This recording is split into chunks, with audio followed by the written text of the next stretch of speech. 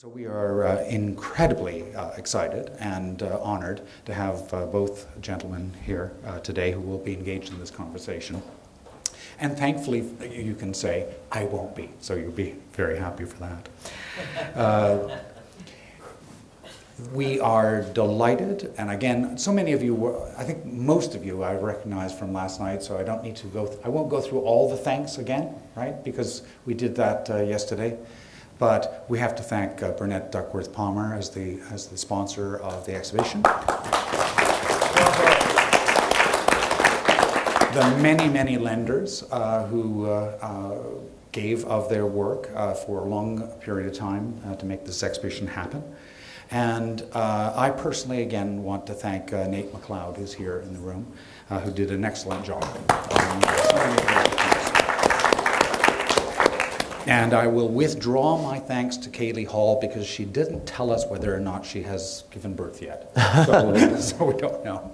But uh, Kaylee Hall, uh, our, our, wonderful curator, did so much for, for the exhibition. Um, we uh, are, are very grateful to her for that. Um, because everyone knows I'm a huckster and that's what I'm supposed to do in this part, because these are going to deliver the actual content, I want to remind you that there's a book out uh, the Kim Dorland book that we're very proud of. It's published by Figure One and McMichael Canadian Collection. Uh, I have a little piece in it, Robert Enright and uh, Katerina Atanassova from uh, formerly McMichael, now the National Gallery, uh, has uh, done pieces.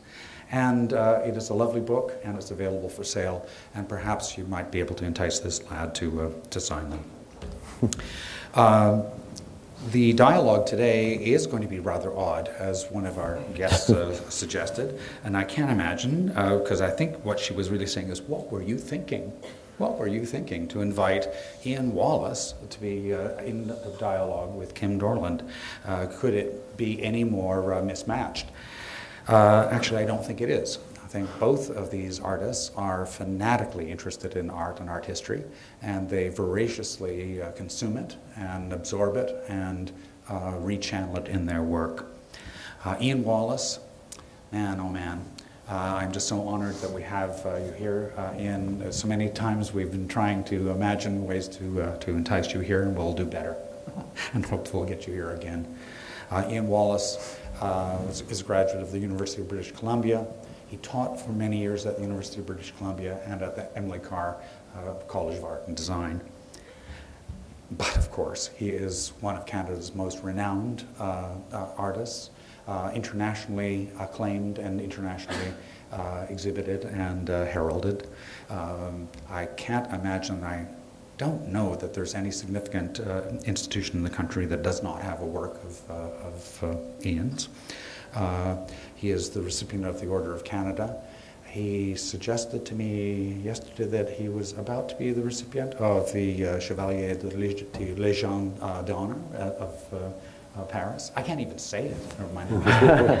but I can't even comprehend how somebody uh, rises to such a level except simply through decades of phenomenal contribution to the, the, world of art. Um, in addition to his extraordinary work as an artist, Ian is somebody who I particularly personally admire uh, as somebody who has remained dedicated to art history. Uh, and particularly to Canadian art history and its relationship to uh, uh, the international world. and so, for that, I am incredibly grateful that he is here and looking forward to your conversation. Kim Dorland. not a bad guy. Um, born here in Wainwright, Alberta, and grew up in Red Deer. Uh, studied at Emily Carr College of Art and Design, and uh, has gone on, as I think you all know, since you all were at the exhibition yesterday. I don't need to go in much about it. Phenomenal works uh, that have uh, inspired us and have challenged us and have um, breathed new life, I think, uh, back into painting and into uh, uh, art practice. Uh, these two uh, characters, I think, are uh, very exciting, and I hope that we'll be involved in a very interesting conversation. I just want to inform you both that the three knockdown rule still is in effect and no one gets so- saved by the bell. Ladies and gentlemen, Ian Wallace and Kim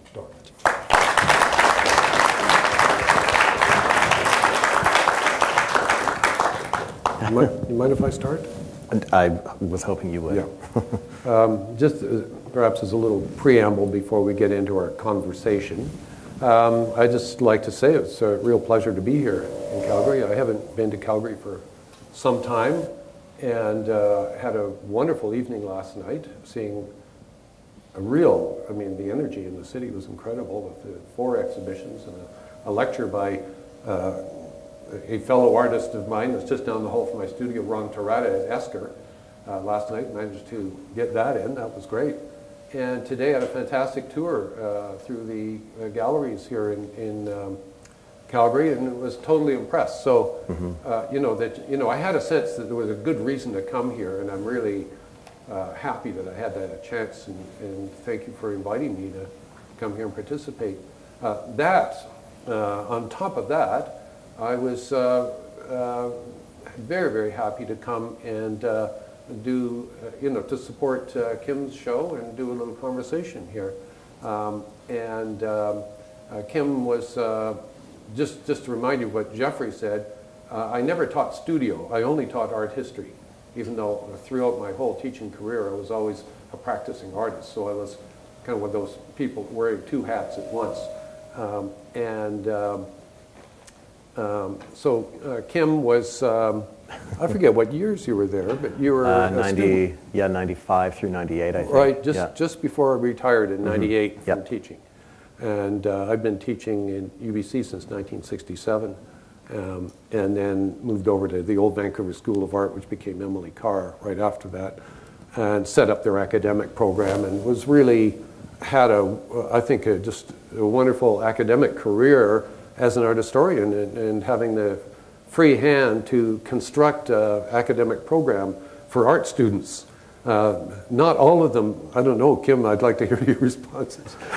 not, not all of them appreciated my program, which was fairly rigorous intellectually, Yes, I think. yes, and it was a tough- I, um, part of my class. program is to make sure that uh, you know, students in the class knew what went on in art history, Mm-hmm. n- knew all of the contemporary artists, could identify their work, and when they left Vancouver to go anywhere else in the world, would know who was the, you know, practicing in that city and be able to identify their work and talk about it with in an informed way, you know, instead of being provincial dummies, you know. Yes, it was Uh, a very so- intimidating class and a very. so it was, it was kind of uh, a little bit demanding, and I, I, Mm-hmm. you know, not everybody was on side for that. Yeah, what? Tell me, what, what did you think of it? I mean, just a little feedback. Well, on, I loved it, On me, um, this is all about you. But Yeah, no, we'll start talking about me.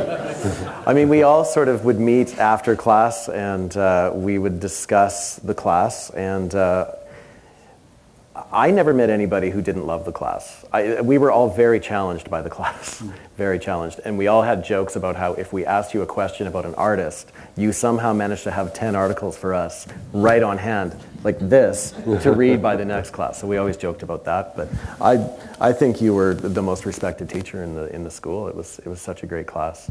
So really thrilled to be talking to you again. That- That's great. Yeah. That's great. Thank you. There's- It was nice, too, because my reward. But it was also really nice because um, um, when I was in school and even now in my practice, I wasn't a highly conceptual artist. Um, and uh, I was approaching my work in a different way, I think, than many people were. Very much about the material, the subject, even though I sucked back then. But I was a student, so.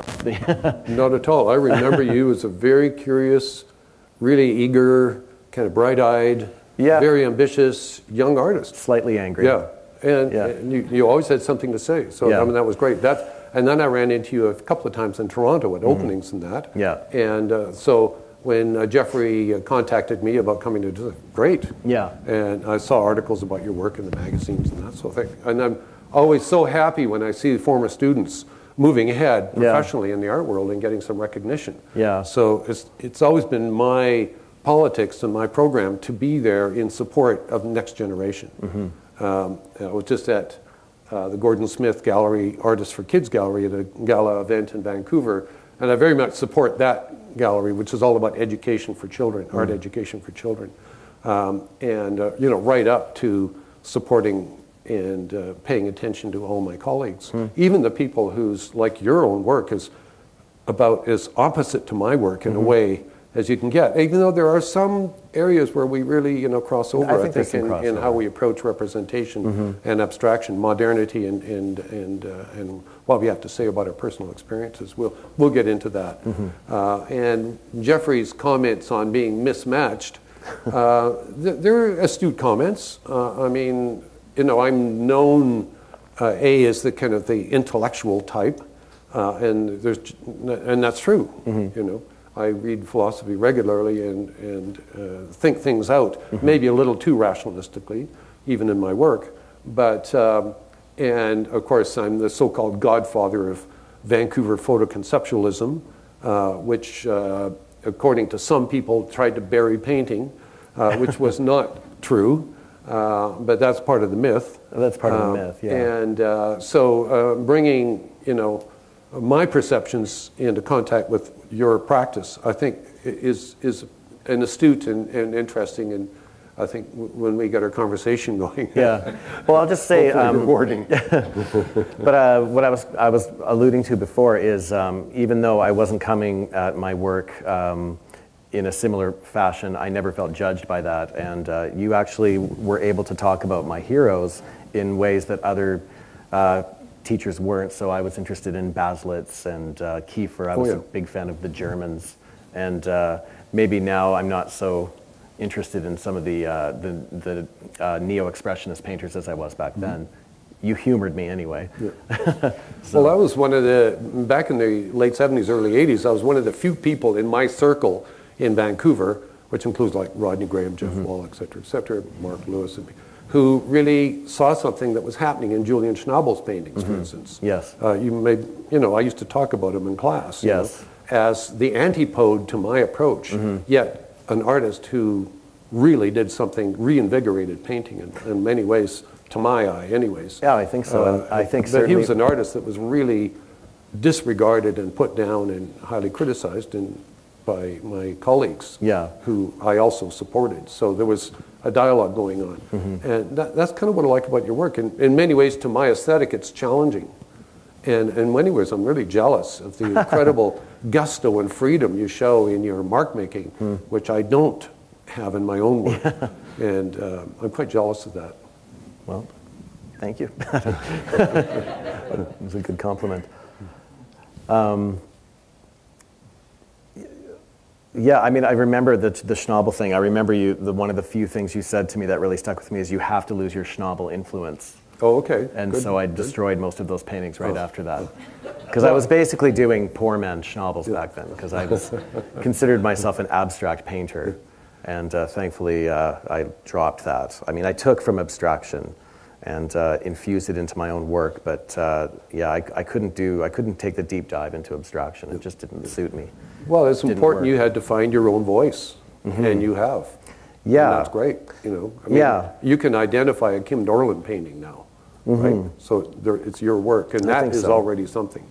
Yeah, And, that's you know. Yeah, the touch. When you realize that you have the touch, and you have um, your toolbox, and I think my toolbox is quite large, but um, it always kind of comes back to that that Dorland thing.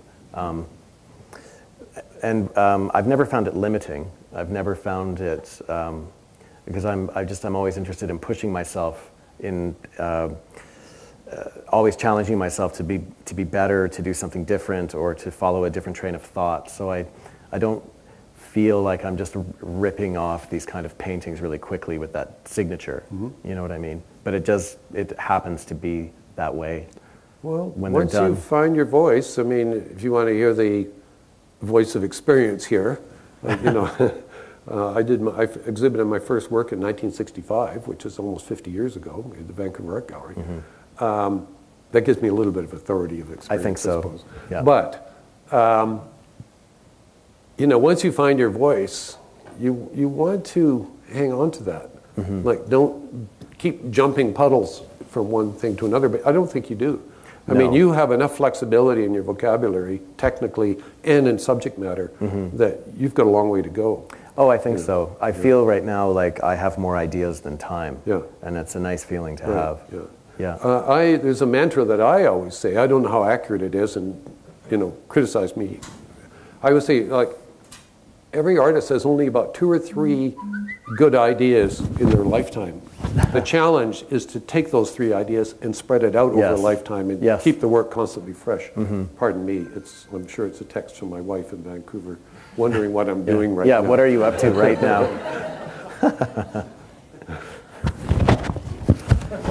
yeah, I mean, I feel the same way. Um, I feel like really all I'm doing is painting pictures of my family and my experiences and portraits of my family. And, uh, you know, it's, there does seem to be enough there to keep me going for a very long Yep. time. Yeah. Yeah, And uh, as you move through life, those experiences will change.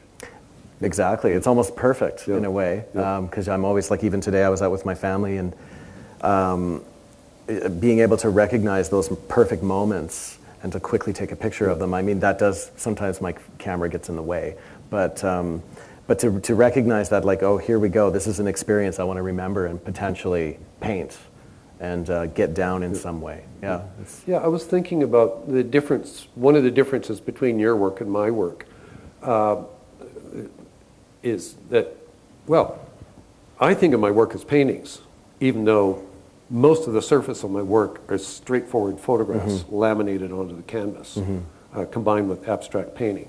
Um, your work is 100% painting, but it's derived from photographs. So photography comes into your work through the back door, in yeah. effect. I So- always viewed your work as paintings, though, in a weird way, um, especially back when I was around them a lot more. Mm-hmm. Uh, we always sort of spoke, in them, uh, spoke about them in a painterly way. Well, they're- I see them as paintings. Yeah, they, the, the language is Yeah. definitely. Especially since the early 80s when I started laminating on canvas. Yeah, yeah. Uh, uh, but even before they were on canvas, when even when I still exhibit works that are just photographs, Mm-hmm. but they're presented and informed very much by painting and the history of painting. Yeah. Um, and I, I'd like to get into questions about painting and what you think about the future of painting and the, you know, and Yeah, you know, this sure. whole question of that, you know, came up particularly in the 70s. Painting is dead. You know, Wallace is trying to bury painting with Mm-hmm. photo- photography. And I must say that it's true in the 70s and right through to the present.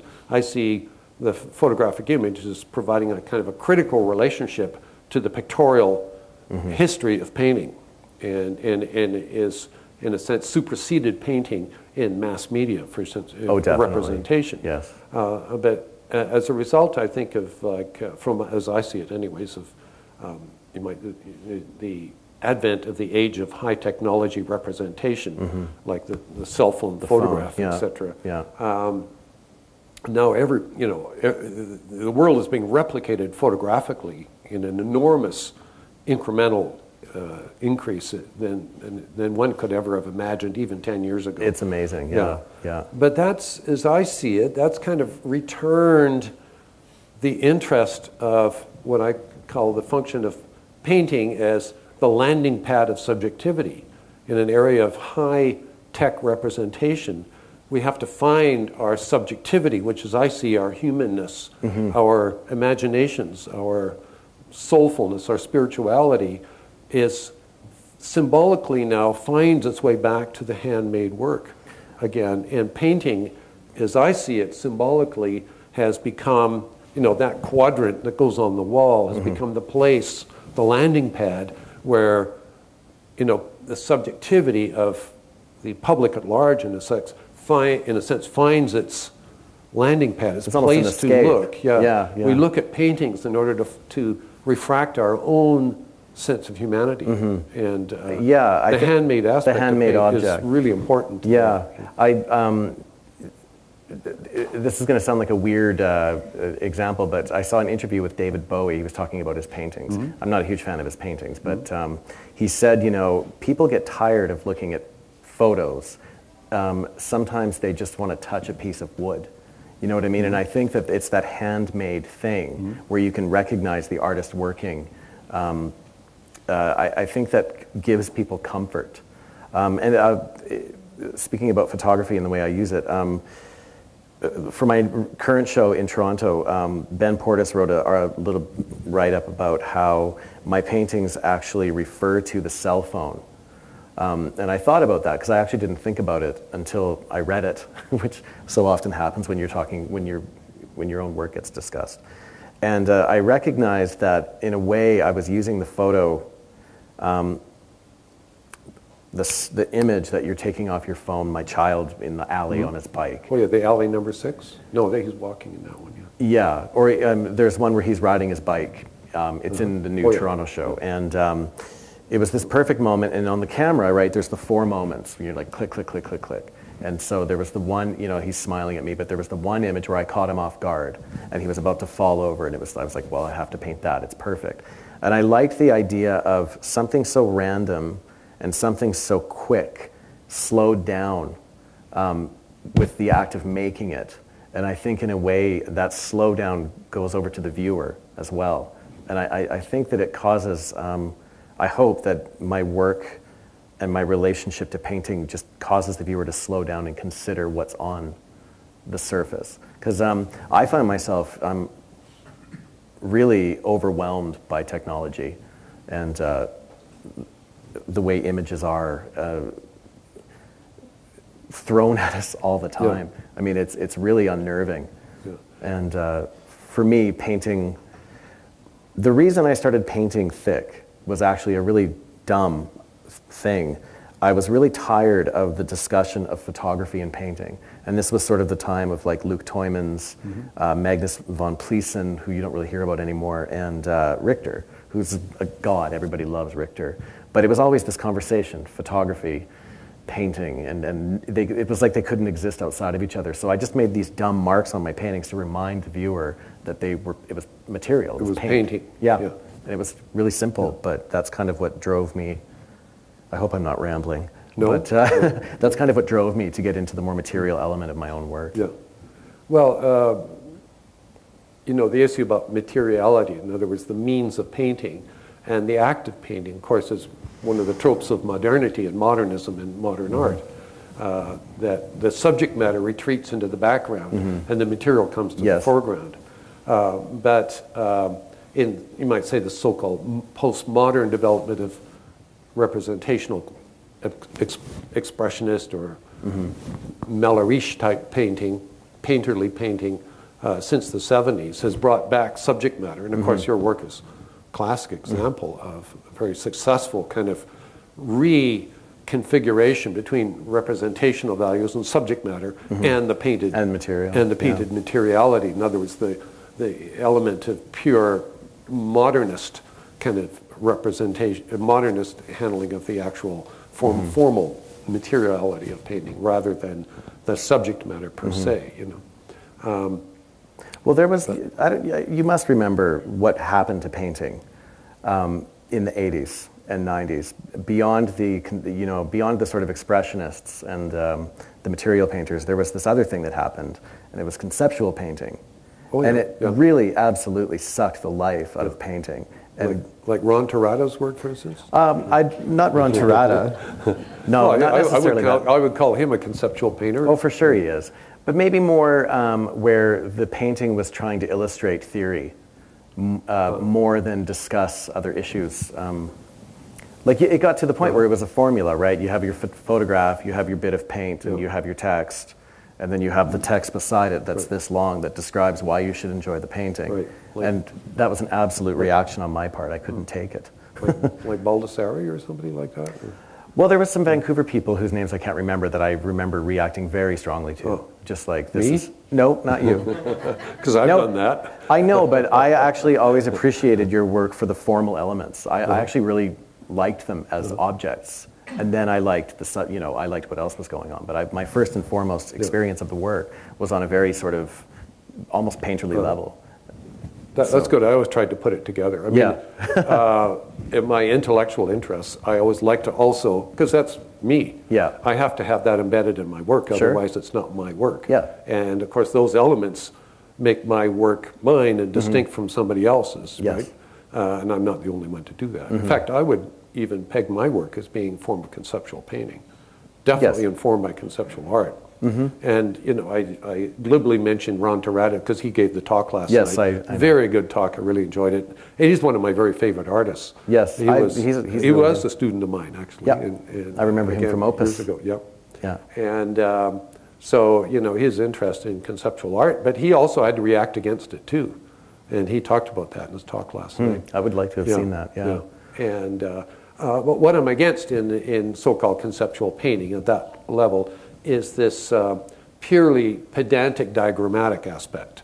There has, you know, the sensuous aspect of painting is what we love. Yes. right? It's what draws us into It's it. the best yeah. part. Yeah. Yeah. And that's why I'm jealous of your Malerisch, of your impasto, because I don't, I don't use any impasto in mine. No, I don't think I haven't seen it. Well, I do. Um, uh, some of my works have uh, um, um, uh, ink monoprints uh, taken from plywood, Mm-hmm. and I was use the worst quality D grade plywood because it's got the most knot Yes, it looks in the it best, yeah. Mm-hmm. to create that visual grip. And then, of course, it's inked and on the floor, and you lay your canvas down and dance on the back, you know, Jackson Pollock style, and pull it off and merge it with the photographic element and, and such. So Mm-hmm. sometimes my work does have that kind of touch, but Yeah.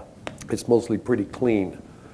Uh, you might be influencing me to go dirty. I don't know. We'll Go see. dirty. You know? I think it's funny though. People think that um, I get asked funny questions about what it's like for me to paint, and it's actually quite dull. Um, it's very. It's not. It's really quite considered, and I think if everybody knew that my average brush size was like a, you know an eighth inch, they'd be really surprised. Um, it's very um, calculated and um, less expressive than you think. And those expressive marks are often thrown on after everything else is sorted out, if that makes any sense. So, for example, the painting in um, the show of my son, I think it's actually my favorite painting in the show of my son walking, and it's his back, and it's got that kind of iPhone blue background. I can't remember what I titled it, but The alley? It's in the first floor Yeah. as you come down the stairs. Yeah. Yeah. I think my mic just went. No, no, it's all good. Uh, there's one I think called um, the alley, isn't it? With, there's two people standing near a trailer and that. Oh, alley. Yes, yes, yes. Yeah, alley, yeah. alley number six or something. I, I was Yeah. focusing on that. Uh, there's one where you, you did your painting, and then there was kind of a rotation of arbitrary swipes Yeah. around Yeah. it. Um, uh, uh, sorry, I'm a little bit forgetting which one that was, but it was one like the alley, or Yeah. it was somebody walking down a, a street with their back to us. Yes, yes, yes, yes. Yeah, okay. Yeah, yeah. And it, and I really like that. It's like you did the painting, and then you just really had to dig into it once more. Yes. Right? Well, because I'm really Those interested marks, in frustrating the act of viewing. Right. Because I find um, I was always talented enough to make convincing paintings. And that was the frustration sort of up to 2005 Right. before I did the painting called The Loner. I was really awesome at realism, and then I was really good at abstraction, and I could make these things that were convincing, but they had no. Um, that's all they were. And so I would get frustrated and destroy them all and start again, right? So it's this dance. Um, and then, but all of those things sort of came together. But the one thing that I, I, I realized that I always wanted to do was to frustrate the act of viewing because I don't want to make just beautiful things because that's boring. so that's why, th- so those elements that you're talking about were usually after the painting was pretty much there. Like when the painting's about 90%, then you go in and figure out, okay, well now it's, how do I, how do I wreck this? But make the wrecking of it as interesting as, uh, Uh, anyway, make the wrecking of the painting just as interesting as, as if, you know, as. Sorry, I lost my train of thought. Yeah, Anyway. the, the question of beauty, I mean, I, I like to bring the term beauty into the discussion, even of conceptual art. Um, that, um, but beauty is in the mind of the beholder, of course, everybody says. Of course, Keats said, truth is beauty, beauty is truth, um, which is a pretty good definition, actually. If something is honest, straightforward, real, original, full of vigor, love of life, mm-hmm. it's going to be beautiful. Yes. You know, it doesn't matter what is supposed to be beautiful or supposed to be ugly. Mm-hmm. The generic beautiful is not necessarily beautiful. No. Not to my eyes, Not anyways. but you know, a sunset is, gene- and you've done some beautiful Yeah. sunsets in your paintings, is generically beautiful. Very generic. I don't know any sunset that isn't beautiful. No, it's ridiculous. And how can you say it isn't? You know, Yeah, and yet, and and you know, that's the hubris of humanity. You know, like competing with nature. It's pretty hard. Oh, it's isn't re- it? no, and you know, you know, you're a cynic. You're, you've turned into a cynical person when you tell a sunset to fuck off. You know what I mean? That'll be just your like, next painting. Come on. Well, I did. I did a number of sunset paintings, and uh, it was actually that idea. Just like, why don't I do something that's impossible to paint, and uh, it's so loaded with tackiness that let's see if we can make that thing happen and make it interesting, like make it beautiful, but also you know frustrating that beauty, and then and arriving at something. And so uh, I, those were challenging paintings. Yeah, I was looking uh, just before I came here. I um, I forget the name of the attendant at the gallery. Let me in because it was locked at six, and I had another look, and I was thinking about the hot pink undergrounds that you use, and I figured that's really unusual. I mean, to have to paint a serious painting over a hot pink underground Yes. on a consistent level. I was sort of getting down to real technical things No, here. that- that's- But um, uh, and, and in terms of what you said about dissembling uh, painting on that level of, of beauty, I mean, hot pink is a beautiful color. It is. You know, It's the we- know, best. we- you know, it, it, it makes a great party dress. Mm-hmm. But, um, um, but to make a serious painting out of that is not easy. It's not easy. so I easy. noticed that you take hot pink as a ground and then you can merge, you know, you bring all these other colors and marks and smears over the surface to kind Mm-hmm. of, but you let those little glimmers of that hot pink peek through, you know. Then I was thinking, pardon the art historical references here, some of my very famous Ti- Tiziano or Titian. I mean, the Venetians painted over a kind of a Venetian red Yeah, the red color, yeah. Mm-hmm. So they painted over a red underground. And then I realized they were the first painters on canvas, really, because they used the heavy um, jute canvas Mm-hmm. Yes, yeah. with the strong nubble Yeah, the surface nap, yeah. And of course, Titian's great, just like yourself. So you're really inheriting the Venetian school here. Well, you know, dragging the brush across those nubbles. Yeah. He used that like to liven the surfaces of fabric and yeah. and well, and such. even a lot of the good Tom Thomson paintings, he had Oh, that, yeah. that rusty color yeah. underneath. Oh, that's right too. Yeah, yeah, of course. I mean, for me, it was um, there were two things that were happening. I was working on a series of paintings, and I was working with. Um, I was teaching myself how to glaze with acrylic, like to get different colors from white, and it was really dull and boring. And so I did this coat just to to to I don't know. It just sort of suited me, and it, and it actually taught me how to paint in, in a more classical way with layers and uh, glazing and so on. Uh, and then it occurred to me that um, these were colors that I saw all the time. And uh, I realized that, um, as a kid growing up, I mean, and I realized that in a way it was, uh, it was a way to insert my class growing up into my work, this kind of mall culture. Um, I've made no bones about saying that I grew up white trash. Yeah. Um, not my entire family. Uh, they were, you know, very, very working class poor. But my mother and I were pretty trashy. So, um, uh, through no fault of my own. And so I, I always thought that that was a nice way to insert that kind of punkish uh, kid into my work. And I think that it's remained, you know, it, it refers to all the malls and all the, sh- the, the cheap t shirts and stuff like that that I saw growing up. Did you uh, paint graffiti on your jean jacket? Uh, no, I couldn't afford a jean jacket. Oh no. I, that was meant to be really funny, but it. I got. A, I heard of one snicker, and then people were like, pathetic. "Yeah, yeah, right. Just terrible. Don't bring it down, man." Um, yeah, I I, used to put newspapers to cover the holes in my shoes. yeah, yeah. you know, which were white bucks in the 50s, right? Oh, right. I managed to be able to paint the shoes white, so, but I wouldn't let anybody see the soles of my shoes. Yeah. Which were like right through to the ground. Wow. Yeah.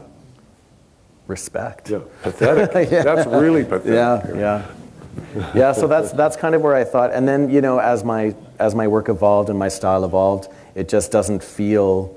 It's just uh, natural as natural as buying, uh, you know, iron oxide black because it's your favorite black Yeah. or whatever. It's just the way that the paintings start now. How do you start a painting day? Tell, me- tell me how your day starts. Uh, well, I have two young children, so they dictate a lot of my timing.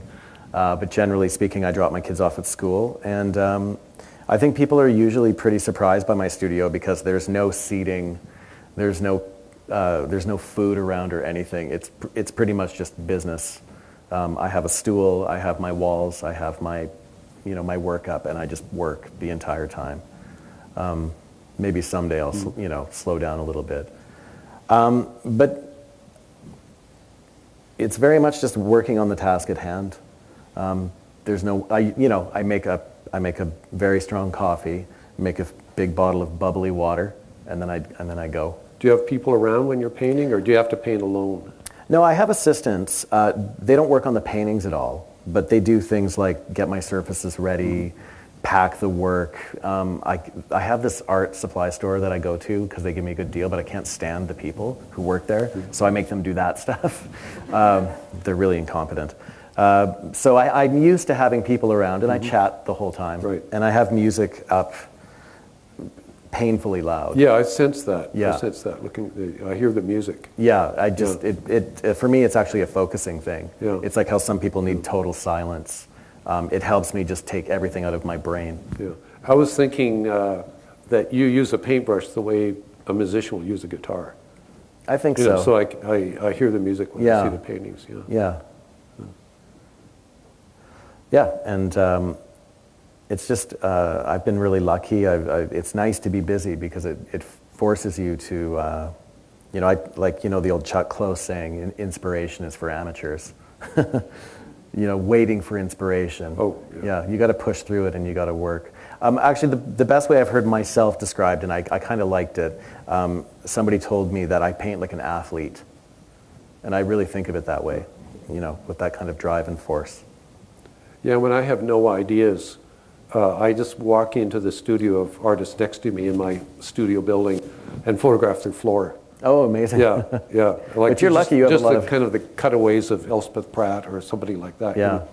And then I make uh, make pictures from it. Hmm. Yeah, it fills the vacant spots in my brain, and they turn out to be pretty good pictures. I think. yeah, I'll bet. That, that Yeah. kind of uh, Yeah. happenstance is Yeah, always they're, really interesting. they're about nothing, but they're about some pretty important things at the same time. Yeah. And it's also about looking at the stuff that you're not supposed to be looking at. Mm-hmm. Um, the, the, the things that are thrown away, the abject, you might say, which is a real trope in Vancouver art. Mm-hmm. Vancouver artists really love the abject, things that are not worth anything and thrown away in the corner, et cetera, et cetera. You know? An artist's studio floor tells more about that artist than a lot of times their work does. It's like asking somebody, What do you have in your fridge right now? And they list it off, and you can kind of get a sense of that person. The artist's floor kind of has that feeling to me, too. Yeah, I, in, in my work, I do a lot of masking uh, in, through various stages of the mm-hmm. painting of the photographs to protect the photographs from getting painted on, etc. But I love that kind of rough state of the work, and mm-hmm. I photograph it, and then I do big inkjet prints hmm. of the various stages of the collaging and masking of the finished picture. And then often, when the finished picture is shown, I show the, process of it at the same time. Yeah. And kind of, it's a nice way to flesh out a show that doesn't Yes. have a lot of big Yeah. ideas it, you know. but uh, these are always the challenge of artists, you know. Yeah. Like you, How do I you fill got, the You space? got a lot of wall space to cover, and it's got to be good, right? Mm-hmm. And uh, Yeah, you can only buy yourself so much white space around Yeah, the work. Yeah, And- and- unless you turn that into a piece, too. And that's, a, that's another thing that really impressed me about your work. I mean, like, uh, over the, uh, the show here, it's really only 15 years, but incredibly prolific. I mean, what a body of work over 15 years. I say, really Yeah. amazing. Congratulations. Yeah, to- thank you. I mean, that, that body of work is from 2005 to Yeah. present. Yeah, Yeah, so. And, and the scale of the work, too. It's, it's really. Yeah, I've heard I've heard lots of different views on that on my on my, on my uh, prolific nature. Um, you know, you get you you must be used to people in your ear all the time about what you're doing wrong, or maybe oh, they yeah. don't. They I'm probably don't do repeating that. myself too much. Yeah, or you you probably don't hear it as much as I do, because but um, I hear it a lot, and uh, I just I don't understand how you change your process. I happen to work quickly. I happen to work big, and I happen to make a lot of work, and uh, I don't think the work is uneven. You know, No. so I so um, I'm really proud of that. It's like telling like Van Gogh did 450 paintings in three years. You know what I Yeah. mean? And I know it's really romantic to Yeah. him back and say, "Oh, but look what." But like, do you think somebody was in his, in his ear Yeah. saying these stupid things? That's such a curatorial thing to say. You know. Anyway, that's my Uh, rant. Another thing that knocked me out was your ability to handle scale.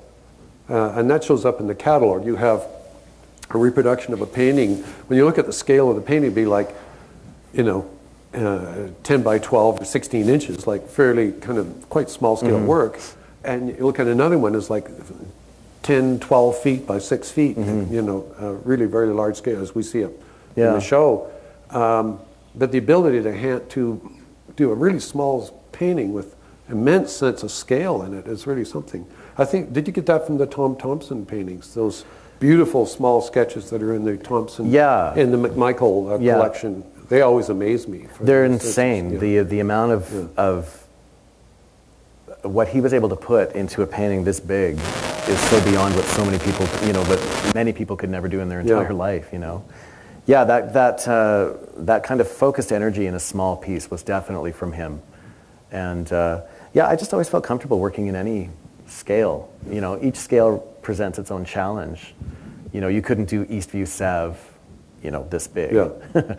Or maybe you could. I don't know, but I don't. I don't think so. But um, yeah, it's it's a very comfortable thing, and it's more. It's just intuitive. Like when I go back to work, um, eh, you know, I, I plan on putting up quite a few small panels to get myself back into the into the game a little bit, and then I'll start fleshing them out bigger. But it's yeah, it's not, it's really intuitive. It's not, you know, I always feel very defensive, but it's not business. Yeah. You know, I'm not trying to make little work so that they, they can be more affordable, and I can, you know, it's not about that. or you can carry them around to shows a bit easier. Yeah, yeah, I'm- well, they would ship better, for that's, sure. That's what I'm thinking of. I'd like to start making smaller works. Yes, uh, it- because it- shipping can be very, very expensive. Yeah, it's a nightmare. Yeah, Now, most of the galleries pay for the shipping. Yes, of course. But at one time, I but used they to have complain to. the whole time, right? Yeah. Well, no, I, I personally don't get hear that. But at one time, I had to do the shipping, and I had to. I would roll up my take them off the stretchers from Vancouver, roll them up, and I always designed the paintings to be able to take them on an airplane as baggage. Mm-hmm. Yeah. Yeah, and it, the total dimensions of the work for baggage is no more than 108 inches. Yep. Mm-hmm. Including length, width, etc. And so I take them in rolls and then have the gallery provide stretchers at the other end. And stretch them And there. stretch them up, Yeah. My know. first show in Calgary was like that. That's it? why the Yeah. loaner's that weird shape because I brought it on the plane. Oh, I I had a question about that. I mean, these are like uh, shop talk. I think people like that. People like shop talk. I think. Like your work has such impasto, so you means you can't roll them up. No, those I can't roll, yeah. And then I want to ask you about the wooden backing Mm-hmm. to, like you stretch the canvas over plywood panels, I assume? Yeah, uh, just ma- like mahogany, I think it is. Oh, yeah, Yeah. okay. And, And- uh, and yeah. I- Sometimes you, ha- you actually bolt things in and. Yeah, so the only reason I do that is um, a lot of paintings could be fine just stretched on linen or something like that, but I like the option to be able to screw into it. Yeah. Because sometimes a piece will end up getting so thick, and I don't pre plan it, right? So I do like to have that option of, of being able to screw it in to support it. Uh, so they don't fall off. Right. And there's this annoying thing that happens with my work where the pieces of oil drop and roll down and just wreck everything. so yeah, so that's really it's really quite pragmatic. And then uh, I've developed a really uh, low tech shipping system. What do you mean low tech? like I just I build little corners. Mm-hmm. And they screw into the back, and then I just cover it with triple ply cardboard. It's really Oh, I see. quite So- simple. So the card, nothing touches the actual yeah, surface? yeah, it's like a- Because you're a big glops on the faces Yeah. and such. Is that a fair word to use? The glops is totally cool. yeah, it's totally gloppy. Um, If you had any, you know, kind of flat surface pressing Yeah. against it, that would wreck the yeah, you get texture. that you get that Yeah. flat thing that happens. There's a one painting, uh, the 36 Olympic Green. Yeah. Um, that painting sold in 2006, and I actually got the painting back. I had to trade a bunch of my own work to get it back, but I noticed that they didn't pack it right, and there's a smushed piece. And that- that kind of it's not such a big deal on an older painting because the paint shrinks and and so on. But uh, Hmm. That's such a beautiful painting. Oh, thank you. Yeah, I was just- happy to get I mean, that I. Mm-hmm. really felt that I was there, uh, looking into this window, Suburban window. where there's a warmth inside. Yeah. Mm-hmm. You know, when you're outside in the in the chill, and it's in, in, you know, we've all experienced that. Yeah. But but you caught it just beautifully in that painting. I think you know. And then I was reading your interview, and, and that was very that was a That very was meaningful address to you. That It was, that's the when I- house that took you in. I crashed the middle yeah. class. yeah, Yeah. yeah. That's how I crashed. a- I think it's a fantastic work. Yeah, I saw when I saw it again. I'd forgotten about the painting, and I saw it again, and I actually didn't even recognize it. I was like, "Oh, that's my painting! I love it!" And then so I wheeled and dealed to get it back. Oh, really? Oh, Yeah. so you own it now? I, that's mine now, Oh, and it, it's you. not going out you. again. Yeah. yeah. I wish I could afford to get mine back. Yeah, it's yeah, it's a ter- it's a terrible thing though when you're trying to make a living. Like I make my living Yeah. from this, Yeah. and uh, after a few years, you realize you're like, oh, I should have kept that one. But you know, you have to make a living, and you Yeah. have to Yeah. get the work out there.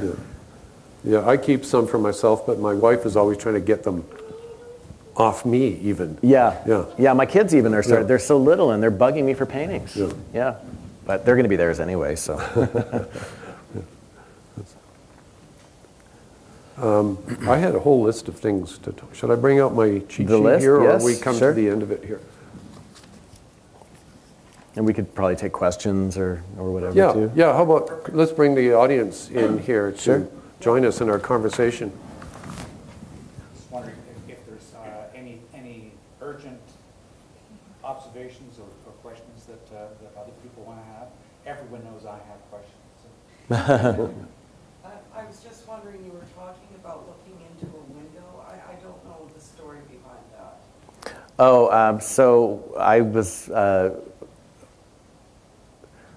long story short, my mother was uh, not the nicest person, and so when I was 16, she kicked me out, and my wife's family took me in, and that's kind of where I discovered uh, art and uh, like I joke about crashing the middle class, but. I don't know. There was a, there was a, a huge unpredictability in my life, and then there was predictability in my life. So that's kind of uh, was a very transformative time for me, and I spent many years painting that time. So the 36 Olympic green painting is sort of me as the outsider viewing that place. And uh, I'm actually in the painting with Lori, who's my wife, who couldn't be here tonight, and her sister. It's a very plain, sort of suburban painting. My mother kicked me out too. Yeah? At 17, but I needed to be kicked out. It Yeah? was, it was good for me. Well, good. yeah, I moved into a house in downtown Vancouver. Well, other art school students were in. I never went to art school, but other art school students were in that house. It was like a five-bedroom house downtown, renting for sixty-five dollars a month. My Wow. rent was eleven dollars a month. Nice. this is 1962, um, and I met my wife. She was Really? went to an art school party, and she was there, and we fell in love. And I have my son, and I have grandchildren, and everything, all from that. That's amazing. Yeah. Yeah. I mean, these And things. So it was good to be kicked out good. of the house. It's good in the end. It sucks at the time. nest. yeah. No, it's true. I mean, I, I think both of us sounds like we both kind of landed on our feet and Yeah. then made and, something. And, and a little bit of your story too. For me, art was the means. I, when people say, "Why do you become an artist?" I say it was just a survival mechanism. Mm-hmm. You know, it was like I learned to write poetry in order to seduce girls. you know, it was a survival mechanism. Yeah. And, and art was that. you yeah. know? Yeah. It was my ticket out. Yeah. Yeah.